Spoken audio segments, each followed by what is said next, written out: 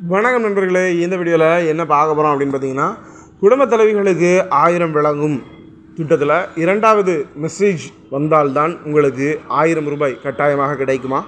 வெளியான புதிய தகவல். அது என்ன அப்படின்றத இந்த வீடியோவில் தெளிவாக பார்க்கலாம். வீடியோக்குள்ளே போகிறது முன்னாடி நம்ம சேனலை மறக்காமல் சப்ஸ்கிரைப் பண்ணிக்கோங்க. பெல் ஐக்கானையும் கிளிக் பண்ணிக்கோங்க. வாங்க வீடியோக்குள்ளே போகலாம். தமிழகத்தில் குடும்பத் தலைவிகளுக்கு ஆயிரம் வழங்கும் திட்டம் ஆனது தற்போது மகளிர் உரிமைத்தொகை திட்டம் என்று மாற்றி அமைக்கப்பட்டு இதற்கான விண்ணப்பங்கள் வழங்கப்பட்டு கடந்த இருபத்தி நான்காம் தேதி முதல் விண்ணப்பங்கள் வழங்கப்பட்டு அதற்கான முகாம்கள் நடத்தப்பட்டு பதிவேற்றம் செய்யப்பட்டு வருகிறது. முதல் கட்ட முகாம் நடந்து முடிந்ததை அடுத்து தற்போது இரண்டாம் கட்ட முகாம்கள் தமிழகத்தில் நடைபெற்று வருகிறது. விடுபட்டவர்கள் அதாவது முதல் கட்ட முகாமில் விடுபட்டவர்கள் இரண்டாம் கட்ட முகாமில் பதிவேற்றம் செய்யப்பட்டு வராங்க. இது ஆகஸ்ட் பதினான்காம் தேதியுடன் முடிவடைகிறது.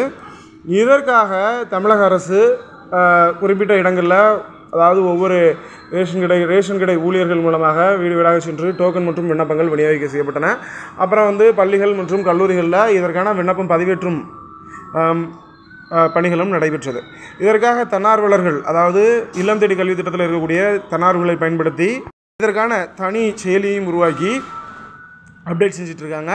இந்த நிலையில் உங்களுக்கு எஸ்எம்எஸ் வருவது கட்டாயமா? அப்படின்றது ஒரு முக்கிய தகவல் தற்போது வெளியாகி உள்ளது அதாவது உங்களுடைய விண்ணப்பம் பதிவேற்றம் செய்தவுடன் உங்களுக்கு ஒரு உங்களுடைய விண்ணப்பம் வெற்றிகரமாக பதிவேற்றம் செய்யப்பட்டது அப்படின்ற மாதிரி ஒரு தகவல் வரும் அப்படிங்கிற மாதிரி சொல்கிறாங்க சில சமயம் வந்து சர்வர் பிரச்சனையினால் இது வராது அப்படிங்கிற மாதிரி சொல்கிறாங்க அடுத்ததாக உங்களுடைய விண்ணப்பம் வந்து அது அங்கீகரிக்கப்பட்டதா நிராகரிக்கப்பட்டதா அப்படின்ற ஒரு தகவலும் உங்களுக்கு குறுஞ்செய்தி மூலமாக வரும் அப்படின்ற மாதிரி சொல்கிறாங்க அப்படி நிராகரிக்கப்படும் பட்சத்தில் உங்களுடைய விண்ணப்பம் நிராகரிக்கப்படும் பட்சத்தில் நீங்கள் வந்து உங்களுடைய விண்ணப்பத்தை மறுபரிசீலனை செய்யலாம்.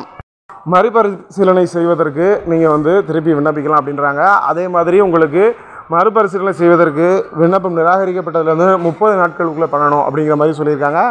எதனால் உங்களுடைய விண்ணப்பம் வந்து நிராகரிக்கப்பட்டது அப்படின்ற மாதிரியும் உங்களுக்கு தகவல் வரும் அப்படின்ற மாதிரி சொல்கிறாங்க மேலும் சில பேருக்கு வந்து இந்த மெசேஜ் வராது. அதாவது சர்வர் பிரச்சனையின் காலமாக சில பேருக்கு இந்த பிரச்சனை இந்த மெசேஜ் வராமலும் இருக்கலாம் அப்படின்ற மாதிரியும் கூறப்படுது. அப்படி இருக்கிறவர்களுக்கு என்ன பண்ணணும் அப்படின்னு பார்த்தீங்கன்னா பொது சேவை மையத்தில் இது குறி இதை இதை பற்றி தெரிஞ்சுக்கிட்டதுக்கு ஒரு சில அறிவிப்புகள் விரைவில் வெளியாகும் அப்படிங்கிற மாதிரியும் சொல்கிறாங்க பொறுத்திருந்து பார்க்கலாம். வீடியோ பிடிச்சிருந்தால் லைக் பண்ணுங்கள் நம்ம சேனலை மறக்காமல் சப்ஸ்கிரைப் பண்ணுங்கள் தேங்க்ஸ் ஃபார் வாட்சிங்